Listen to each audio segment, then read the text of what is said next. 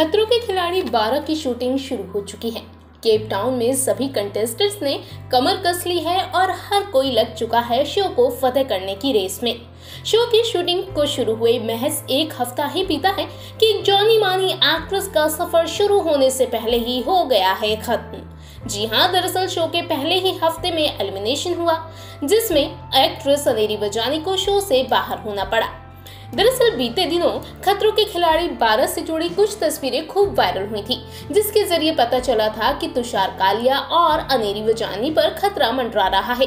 उन्हें फेर फंदा दिया गया था। दोनों को टास्क परफॉर्म करते हुए खतरों के खिलाड़ी 12 में अपनी जगह सुरक्षित करनी थी। लेकिन अब खतरों के खिलाड़ी 12 के फ़ैन पेज ने ये दावा किया है कि अनेरी वजानी ने सबसे पहले खतरों के खिलाड़ी 12 को अलविदा कह दिया है।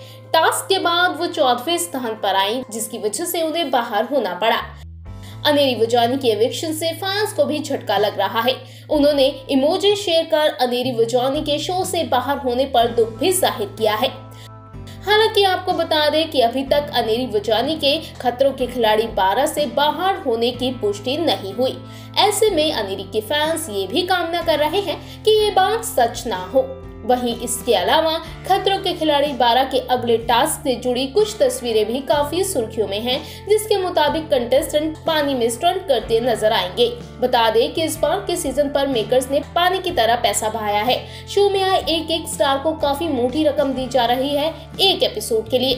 बड़े बड़े स्टार्स को शो का हिस्सा बनाया गया है। वहीं जिस तरह से शो के सेट से तस्वीरें सामने आ रही है उससे ये भी साफ़ है कि इस बार के टास्क पिछले तमाम सीज़न से काफ़ी खतरनाक हैं, काफ़ी मुश्किल भरे हैं।